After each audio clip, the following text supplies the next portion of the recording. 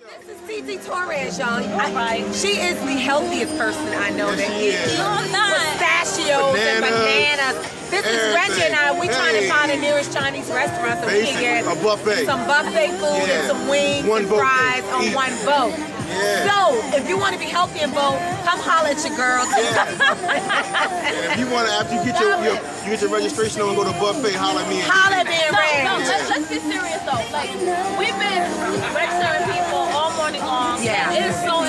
that everybody come out here and get registered to vote. But not only that though, it's step one is getting registered. Step two Is actually is actually voting. going out and voting. We're also doing restoration of rights also out here today. So people that have lost their right to vote can come out here today, or they're coming out today to get their rights restored for the very important election in November. Or if you catch this later, we thank you for coming out today and doing all yeah, that. yeah. It- it- Despite the rain,